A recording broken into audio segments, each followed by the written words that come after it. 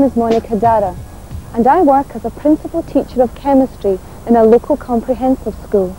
Like a lot of my colleagues, I recently became aware that the Glasgow Development Agency is planning a major new project, one which will be of importance to everyone in Scotland and beyond, right here in the heart of Glasgow.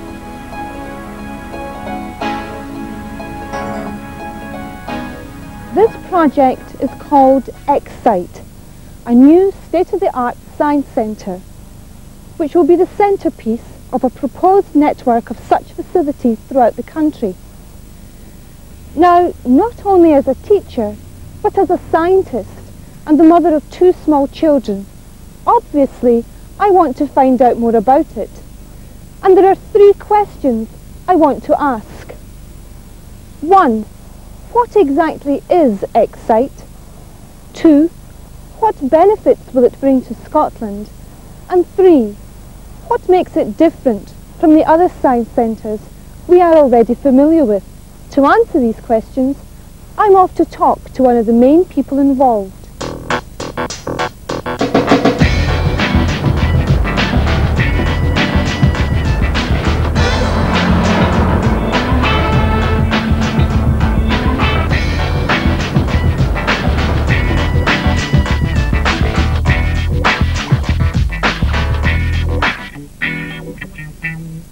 Excite is positioned on the old Princess Dock on this promontory running out into the Clyde. It has three basic elements, the tower, the IMAX Theatre and the Exploratorium. At 100 metres high, the Millennium Tower is the landmark of the site. A remarkable piece of engineering, it actually turns into the wind. The story we're telling in the tower is that of communication. What will happen is that people will take a car which tours the exhibition before taking a lift to the top of the tower. On reaching the top, there will be a series of interactive devices exploring Scotland's position in the science of communication and providing amazing views across the city. The IMAX Theatre will both support the Science Centre and be an attraction in its own right. It will show 2D and 3D films to an audience of up to 350, exploring all aspects of the scientific and natural world. The clarity that the 60-foot square image provides on the screen is absolutely sensational. The Exploratorium is the heart of Excite and holds the main exhibition areas.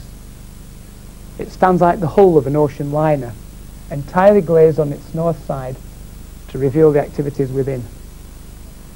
As you can see, it's a four-storey building with the main entrance off the new square.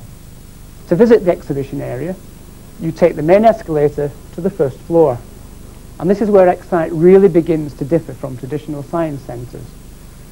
Whilst it uses familiar interactive techniques and equipment, its approach to interpretation is different in two crucial ways. First, the theme is not really science, but human creativity. What is it? Why is it important? And how can we all engage in it? Secondly, rather than being phenomenon-based, Excite is essentially issues-based. It doesn't just explain how things work, but it goes on to ask, what are the issues facing us in the next century? How will they affect our lives? And what are the opportunities for us to do something about them? The centre has four main exhibition galleries which deal with the four key challenges facing society as we enter the new millennium. Keeping My Fires Burning deals with energy. Using My Body explores the world of health, medicine and food Where in the World addresses the environment. And finally, being in touch links with the tower to address the economic, social and cultural issues raised by modern communications. Now bear in mind that Excite will not open until Easter 2000 and it's important that when it does, it is both topical and relevant.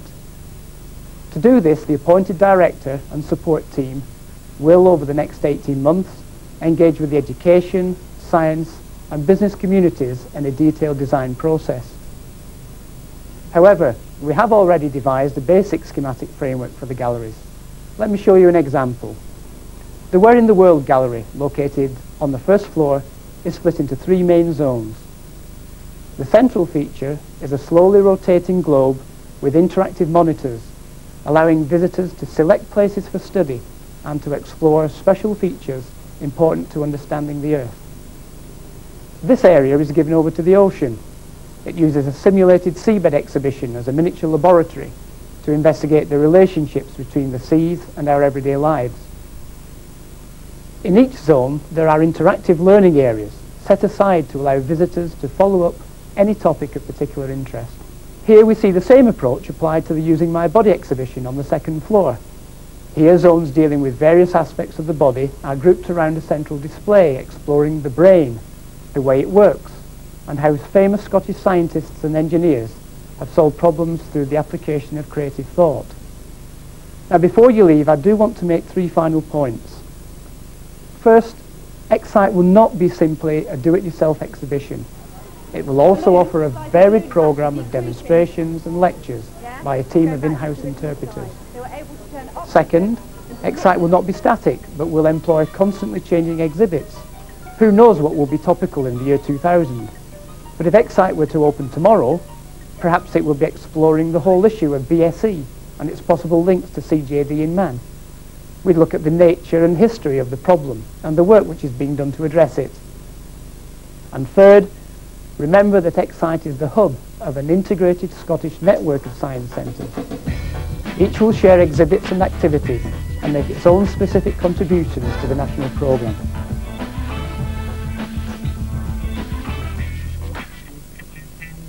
Now speaking as a parent, I am convinced that youngsters will find this a truly exciting experience.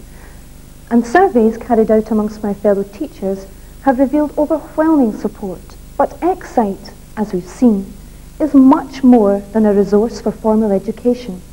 If it's going to be successful, it is essential that it has the backing of the whole community, from science, from the tourism industry, from business and commerce, and of course, from the man in the street. So what do they think about it? We have a wonderful heritage in Scotland based in science, technology and engineering. Indeed, the Scots engineer was a, a legend right across the world at the beginning of the century. And at the same time, Clyde was well built. It was the hallmark of excellence. And because of that, the GDP per head in Scotland at the beginning of the century was the highest in the world. But unfortunately, that's now faded. And in fact, when we look at skill comparisons with other countries, we don't compare well. What we have to do is to create a centre of excellence a beacon or an icon that they can relate to that will bring to them the very best in the world. And I believe that the network of Scottish Science Centres, and particularly the proposals for Pacific Quay, can be one of the means of bringing that together. Science is fun, and, and we want to get that message across, but it's not only fun, some of it's hard work. Whereas the classroom is, uh, there is some fun and excitement there too, but the intention is to achieve a certain uh, targets where kids learn things. It's to connect the relatively dry classroom tea with uh, the real world and the fact that everybody can enjoy it and do it. The gulf between the uh, scientific and technological uh, leading edge and the public at large is, is so huge. It's very important that um, there is somewhere that the public at large can interact with science and technology out with the formal education system. We're moving into an era of lifelong learning and people need the opportunities to engage and to re-engage in scientific discovery. It's okay, we can do this uh, remotely via television and magazines, but there's nothing like getting the hands-on and brains-on experience of a science discovery centre. In 1990, um, I set up and opened the Glasgow Dome Discovery on the former Garden Festival site, the, the site that we're now looking at for the new science centre.